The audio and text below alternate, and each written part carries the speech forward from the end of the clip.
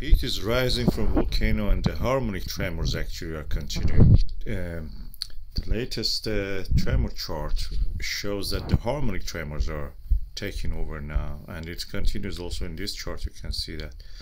they're a little bit reduced uh, in the uh, amplitude but as you can see it continues and you can see the smoke is rising and the heat is actually uh, emanating from the left side of the volcano which is toward the ocean actually uh, I will zoom on that and you can see here this is the effect of the heat rising from the volcano. I have uh, speeded up. It's 32 times the normal speed but you can see that this is like above a heater as if you're looking above a heater or, the, or a very hot road.